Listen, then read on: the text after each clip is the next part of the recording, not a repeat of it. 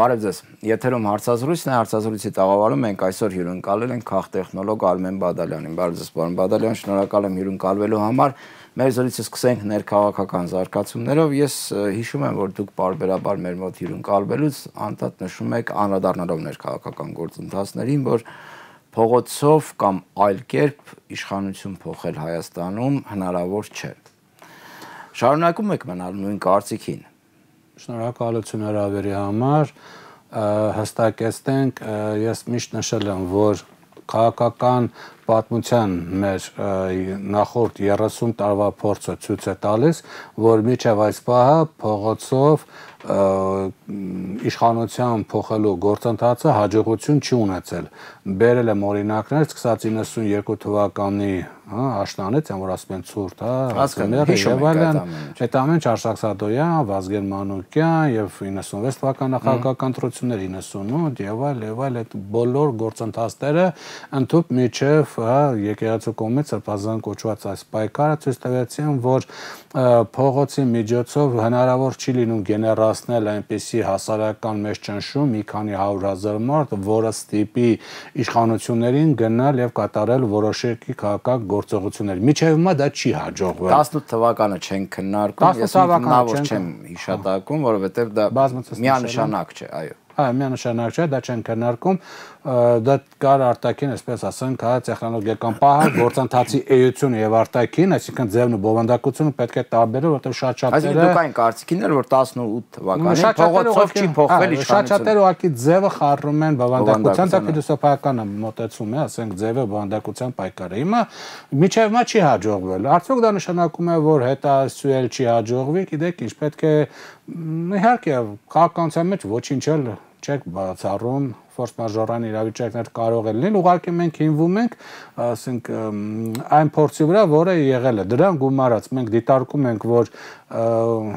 բացառությամբ իհարկե ասենք, որ 1990 թվականը, երբ որ փողոցի միջոցով իշխանությունը փոխվեց, դա երբ որ ՀՀՇ փողոցից այն ժամանակ Գերագույն խորհուրդ ստացավ մեծամասնություն։ Դե դա ընդհանուր տենդենց է։ Չէ, դա ընդհանուր տենդենց չէ։ Իհարկե, հասամ ընդհանուր տենդենց էր հեղափոխական իրավիճակ է, բայց այստեղ իր դերակատարություն ունեցավ նաև այն ժամանակվա հասարակության սոցիալ-տնտեսական կառուցվածքը եւ հասարակության մենտալիտետը, այսինքն կրթվածան բավականին բարձր հեղափոխական իրավիճակն եկավ դրանց ամեն ինչ օգնելու։ Ուղղակի երբ որ մենք ասում ենք նախորդ 30 տարվա եւ բերում ենք փորձերը, միաժամանակ նայում ենք հասարակության, ասենք վերափոխումը, ձևափոխումը 30 տարվա ընթացքում կարող ենք ասել, որ այնպես չի, որ հասարակությունը իր սոցիալ-տնտեսական կառուցվածքով այն ժամանակ արդյունաբերական հասարակություններ դրանց բխող գիտարդյունաբերական մտավորականությունը կար, ինժեներատեխնիկական մտավորականությունը հիմա մեր մոտ կիսա գյուղացիական, կիսա առևտրական մոլային այս հասարակությունը, մոլերում։ Սպասարկող առևտուրում ինչ որ հա մոլերում առևտուր անող, այսինքն հասարակության սոցիալ տնտեսական վիճակը նաև հանգեցրել նաև բավականին ցածր է կրթական որակը, ես խասեմ կրթական որակը բավականին բարձր է, ցածր կրթական որակը հանգեցնում է հասարակության Դե չես համեմատի 24 թվականը 90 թվականի հետ հասարակության կրթական ցենզը, դա հասկանալի է։ Հա, բայց չեմ, դա կապ ունի քաղաքական գործընթացների հետ։ Շատ մեծ կապ ունի, որովհետև կրթական ցենզն է թույլ տալիս անցալելու իրավիճակը եւ համապատասխան բան քայլել իրականացնելու, որտեղ եթե դու հասարակություն ունի բարձր կրթական ցենզ, բնականաբար նա շատ դեպքերում ճիշտ է անցալում իրավիճակը եւ համապատասխան ընտրական գործընթաց իրականացնում, այսինքն գնում եւ քվեարկում է կամ ստեղծում է ուժ որը պետք է դուրս բերի իրան այս վիճակից եւ քվեարկում այսինքն դա բնականաբար ազդում է։ Քիչ մանիպուլացվող հասարակություն։ Իհարկե, քիչ մանիպուլացվող հասարակությունը, որտեղ կրթությունը բարձր է։ Եվ ինքը ամենակարևորը ինքը հասկանում է ստեղծված իրավիճակը եւ փորձում է դրա դեմ պայքարել անկամ եթե վիճակը այդպեսին է որ իրան դուրս չի գալի Դա դեմ պայքարում է ցանկացած ձևերով։ Հիմա երբ որ ունեք հասարակություն, որը կրթական վիճակով բավական ընթացր է, նաև այսպես պետք է նշենք մի հանգամանք, որ դա դե բացասական իմաստով, որ 1988-90 թվականին ճիշտ է կա ռուսական ուրեմն հերոստալիկներն են, որոնք ասենք, որոնց նկատմամբ եւ պրավդատերտը, որոնց նկատմամբ այսպես բացասական վերաբերմունք կար հատկապես հա, երբ որ նրանք Ղարաբաղյան հարցը այլ ձևով են ներկայացնում Հայաստանում, այսօր կան, գախնիկ չէ, լրատվական դաշտի վրա կան նաև Հայաստանից դուրս գտնվող քաղաքական կենտրոնների շատ մեծ ազդեցությունը, տարբեր հիմնադրամների եւ այլն, որոնք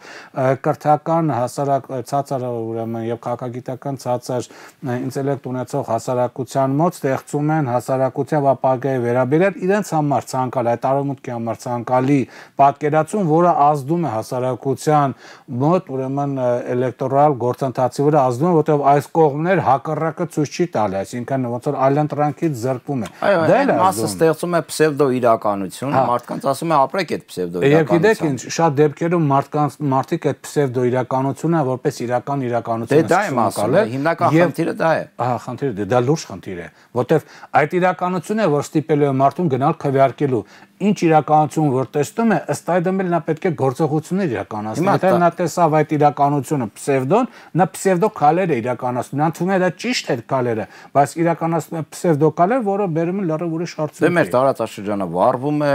պատերազմի նախաշեմին է գտնվում ընդհանուր տարածաշրջանը Ալիևի անընդհատ սպառնալիքներ, բայց մարդկանց մի մաս կա, որ նստած սպասում է թե երբ է դառնալու Եվրամիության անդամ կուշտ ուրախ բախտավոր ապրել։ Դա հա։ իհարկե պսևդո իրականություն է, բայց շատ մարդիկ հավատում են։ Հայաստանը երբեք չի դառնալու Եվրամիության անդամ, այն պարզ պատճառով, որ նախ նա սահման չունի, պետք չինել, հա, Ռաֆայեն Կովկասը մերձ Բալտիկան երկրների հետ նա Լասկանի հետ սահման ունի, սա մեկ եւ երկրորդ։ Հայաստանը հարավային Կովկաս արևմուտքը նայում է մեկ որպես կատարվածքով, իրան մեկ դա որպես մեկ տարածք իրան է տրակում ոչ թե առանձին։ Իսկ այս մեկ տարածքում կա Ադրբեջանը, որը ոչ միայն մարդու իրավունքն հետ կապված եւ հետ կապված, այնտեղ բավականին լուրջ ուրեմն խնդիրներ կա, դա դնեք մի կողմ, եթե անգամ դրա վրա աչքել փագեցին, որտեղ հիմա տեսնում ենք, հա, Եվրամիությունը շատ բաների վրա չփակում, չմոռանանք, որ նա Թուրքիայի պրոքսի երկիրն է հանդիսանում եւ ընդունելով տեսականն է զուտ, հա, Ադրբեջանին, ասենք Հայաստանի վրա ասած միասին, եթե նրանք դառնում են Եվրոմիության անդամ, սա զուտ տեսականը չեն դառնալու։ Դա նշանակում է Թուրքիան Ադրբեջանի միջոցով Եվրոմիությունում ստանում է իր այսպես տրոյական ձին, որի միջոցով կարող է տարբեր գործողություն իրականացնել։ Դա տեղի չունենալու, իսկ հարավային Կովկասում փաստորեն մնում են, հա, Հայաստան, Վրաստան, ապա այդ երկուսն էլ փաստորեն, որը նաև սահմանչուն Թուրքիա, դրա համար նա Եվրոմիության անդամ չի դառնալու։ Ասեմ, որ Վրաստանը արդեն 20 տարի, չէ, մի քիչ քիչ, բայց պատրաստվում է ցանկանում է դառնալ Եվրոմիության անդամ։ 96 թվական համարյա, համարյա սա հետո 20 տարին։ Ցանկանում է դառնալ Եվրամիության անդամ ու չի ստասում անընդհատ խնդիրներ են առաջանում։ Հիմա էլ խնդիրը Թուրքիայի մասին։ Այո, հիմա դե Թուրքիան շատ ավելի շատ է։ Հա, դա մար փագենք այդ, որովհետև Հայաստանի ապագան Եվրոմիություն չի։ Հայաստանի ապագան դա ուզենք թե չուզենք, դա արդեն նորացող դեպի BRICS եւ Շանհայյան համագործակցության այդ կազմակերպությունն է բայց դա հանդիպում է արևմուտքի դիմադրությանը վրաստանը մեր համար լավ օրինակ է հա եթե դիտարկենք այդ դիմակայությունը տեսեք ներկայիս վրացական իշխանություններին չես համարի պրոռուսական իշխանություն։ Նրանք պրոարևմտյան են։ Այդպես են իրենց դա վրացական են։ Չէ, այդպես դիրքավոր, եթե Թբիլիսի են մտնում վրացական դրոշների կողքին Եվրամիության դրոշներն են, հա։ Իդեպս էլ նշել, դրոշները հանում են արդեն։ Արդեն հանում, չէ, դա դա ենք ուզում հասկանալ։ Երեքան դրոշները հանել։ Բայց այնտեղ լուրջ հակամարտություն է սկսվել դիվանագիտական արևմուտքի, մասնավորապես Միացյալ Նահանգների, Եվրամիության եւ վրացական իշխանությունների միջև։ Հիմա 26-ին սպասում են ընտրություններ եւ դա կարող է շատ ճակատագրական ազդեցություն ունենալ Վրաստանի համար։ Ընթուք միջև քաղաքացիական պատերազմ են։ Ճիշտ է, հոկտեմբերի 26, որ հոկտեմբերի 26 է, մի քանի օրից, հա։ Հիմա դա լավ օրինակ է հասկանալու համար, թե ինչ է նշանակում, ասենք, Եվրա արևմտյան կողմնորոշում ունեցող քաղաքականություն վարել։ Պարոն Բադալյան, Վրաստանում տեղի ունեց 26-ի ընտրությունները հոկտեմբերի ինչպես կարող են ազդել Հայաստանի վրա շատ մեծապես կարող են ազդել։ Իհարկե, շատ ավելի մանրամասն ներվրացական գործընթացի մասին չեն խոսա, դրա համար կան համապատասխանորեն մասնագետներ, հա, Վրաստանի գծով մասնագետներ։ Դե ընդհանուր գծերով հասկանալի։ Բայց եթե մենք վերցնում ենք այդ ընտրությունները, գիտեք, սա հետարքերը, որովհետև երկու կողմն էլ, թե ասենք Բիձինա Իվանիշվիլի վրացական երազանքը, թե Սահակաշվիլի կամ նրան պրոարմենտյան անդիմությունը պայմանականորեն ավանենք Սահակաշվիլի կողմնակիցներ, նրանք ոնց որ կենացումահ խնդիր են դնում եւ արևմուտքն էլ գիտեք արդեն երկու օր առաջ հայտարարեց, որ դադարեցնում է Վրաստանի բարձրագույն իշխանությունների հետ իր հարաբերությունները, սառեցեց, կասեցրեց եւ Սալոմե Զուրաբիշվիլին էլ փաստորեն միանշանակ դեպի ուրեմն արեմության կողմնորոշում ունեցողներն են։ Գիտեք, հետաքրքիր գործընթաց կարող է տեղ ունենալ, որովհետեւ եթե Վրաստանում հաղթում է գործող իշխանությունը, դա Եվրոմիությունը եւ Միացյալ Նահանգները արդյոք դա կարող են համարել պարտություն։ Ու կհամարեն պարտություն։ Իսկ դրանից հետո ինչ կարելի կարող են իրականացնել, ասենք, արդյոք դրանից բխում է, որ նրանք փորձեն իրենց դիրքերը Հայաստան ամրապնդել, որ գոնե այստեղ ուրեմն չպարտվեն։ Չեն ամրապնդել այստեղ իրենց դիրքերը։ Էլ ավելի։ Էլ ավելի Ասում եք նույն Փաշինյանը Հա, բայց ամեն դեպքում ամրապնդելու համար միշտ ավելի դիրքեր կան, որովհետև ամեն դեպքում դեռևս Հայաստանը ՀԱՊԿ անդամ է, ԱՊՀ անդամ է, ԵԱՏՄ անդամ է, ռուսական ռազմական բազա կա, ռուսական սահմանապատ ծառայություն կա, ռուսական հերոստանգերություններ կան։ Այսինքն ասել, որ ամբողջովին մի բան, որ Վրաստան չկա, այսինքն ասել, որ ամբողջովին ապահոված է, եթե 100% ապահոված է, բնականաբար այդ գործոնները չեն լինելու։ Հիմա արդյոք Վրաստանի ընտրությունից հետո եթե հաղթում է Բիձինայովանիշվիլի Իսրայելին դա ինչպես կընկալվի Եվրոմիության եւ Միացյալ Նահանգներուն, ասենք ընդհանուր իրանց կողմից, կընկալվի որպես պարտություն դա կբխի արդյոք որպեսզի նրանք Հայաստանում արագացած տեմպերով պրոարևմտյան ընդգծված պրոարևմտյան իշխանություն իրական Արդեն ոչ թե պրոարևմտյան, այլ հակառուսական արդեն դրանց հիբրիդ է եւ հակառուսական եւ պրոարմացիան երկուսը միասին որտեվ հիմիկու աշխանություն չասենք էլի պրոարմացիան հիմիկու աշխանություն ամենա փողի հետ կապված ասենք իրանց սեփականությունը այսպես ամրապնդել իշխանություն են հիմա արդյոք դա կհանգեցնի դրան Իսկ եթե հանգեցին դա էական լուրջ փոփոխություններ կլինեն, որովհետև Հայաստանի պրո արևմտ ընդգծված արդեն գաղափարական պրոարևմտյան կառավարումը դեմ է ոչ միայն Ռուսաստանին, այլ առաջին արդեն Իրանի Իսլամական Հանրապետությանը։ Բայց կարծում եք Հայաստանում գաղափարական արևմտամետներ կան, պարոն Բադալյան։ Կգտնեն, կան, կգտնեն, կգտնեն կան, ուղղակի անհատեր շատ են, որոնց կարելի է շատ հանգիստ դերել։ Չէ, որպես քաղաքական ուժ։ Որտեղ գիտեք, քաղաքական ուժը անհատերից է ձևավորում, հիմա տարբեր անհատերում տարբեր պրոարևմտյան կամ արևմտյան այլ ուրեմն հիմնադրամներում, հիմնադրամակություններում աշխատող գործիչներ կա, որոնց շատ հանգիստ կարելի է բերել եւ դարձնել ուրեմն քաղաքական ուժ չկա։ Հիմա կարծոք սա կատարվի, թե չի կատարվի։ Եթե կկատարվի, ապա ինչ, ասենք ժամանակատվածում։ Արդյոք ռուսական կողմը Վրաստան տեղնացած գործընթացը կհամարի որպես իր հաղթանակը կփորձի Հայաստան ոչ որ ասենք իշխանապողության գործընթաց իրականացնել։ Եթե այո, ապա ինչ ժամանակատվածում։ Արդյոք Իրան Իսլամական Հանրապետությունը, որ շատ ավելի կարևոր է այս պահին, քան իդեպ ասում ռուսական կողմինը, արդյոք նա Հայաստան տեղնացած գործընթացները կգնահատի որպես խիստ բացասական, իսկ եմ որ այո դեպի դեպի արմունք փոխելու։ Արդյոք ինքը կգնահատի բացական, իսկ ես կարծում եմ եւ շուտ վստահ եմ, որ այո, կգնահատի խիստ բացական։ Արդյոք դա կբերի ինչ որ գործողությունների, չեմ կարող ասել, իրանական կողմը մի քիչ այլ դիվանագիտությամբ է աշխատում, բայց հնարավոր է նաեւ ինչ որ գործողությունը տեղի ունենան։ Այսինքն Վրաստանին տեղի ունենալիք ընտրությունները շատ հնարավոր է, որ Հայաստանում գործընթացների վրա, ներքաղաքական գործընթացների վրա ազդեն եւ Հարություն Աշճանի փոփոխություններ տեղ ունենան։ Դրա համար պետք է այդ պահով սպասենք ընտրությունների ավարտին եւ մեծ երկրների կողմից Վրաստան նկատմամբ եւ Հայաստան նկատմամբ իրականացվող քաղաքականությունը դրանով նաեւ Ադրբեջանի դերակատարությունը չի բարձրանա, եթե ասենք այնտեղ արևմտամետ ուժերը պարտվեն, այդ դեպքում Արևմուտքը շարունակում է, այո, խաղադրույքներ անել Ադրբեջանի վրա, Ադրբեջանի քաղաքականության, բայց դրանից հետո կարող է ավելի շատանալ, կարող է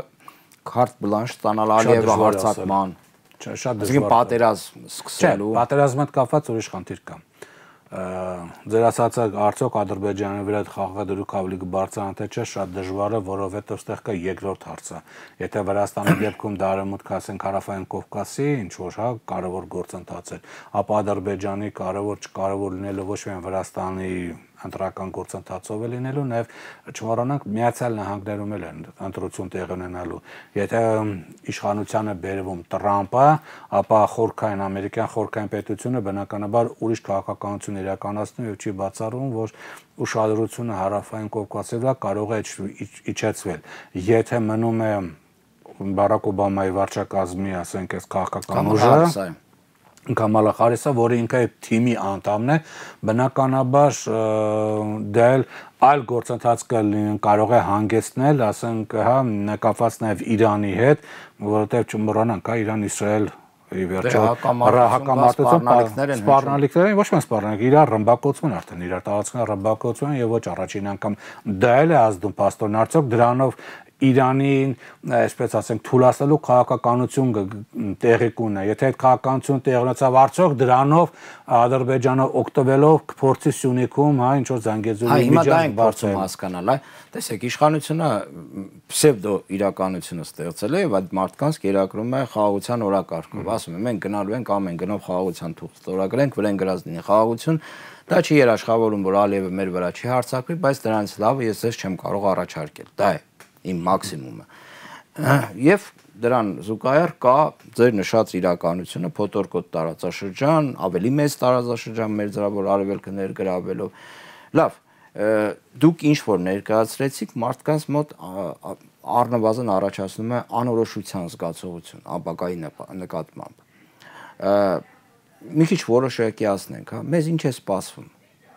Չէ, միջևս գործոնների պատասխանները չունենք, դուք չեք կարող ասել ինչ է սպասում, որովհետև Հայաստանը ինքնին սուբյեկտ չէ, նախ պատերազմի հետ կապված։ Քանի դեռ Իրանի Իսլամական Հանրապետությունը բավական ուժեղ Ադրբեջան չի կարող պատերազմական գործողություն սկսել Հայաստանի նկատմամբ, որովհետև այսօր գաղտնիք չէ, Հայաստանի անվտանգությունը ապահովում է Իրանի Իսլամական Հանրապետությունը։ Ինչպես է ապահովում։ Ապահովում ենքան, որ ասել Հայաստանի վրա չեք հարձակում, թույլ չեն տալու հարավային Կովկասում երկրների